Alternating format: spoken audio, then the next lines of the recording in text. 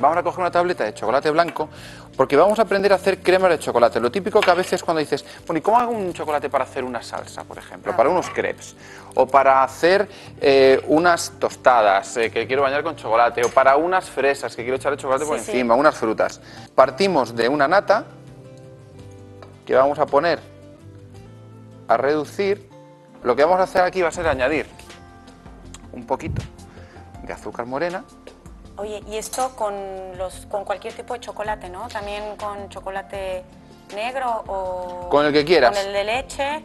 Sí, y una vez que empieza a hervir, ya dependiendo de que queramos una crema más o menos espesa, lo que hacemos es retirar, dejamos, Fuera del fuego el chocolate, ¿no? exacto, dejamos que baje el hervor un poquito y entonces incorporamos nuestro chocolate. Y ahora con ayuda de una cucharita de palo que tengo por aquí, vamos a ir mezclando.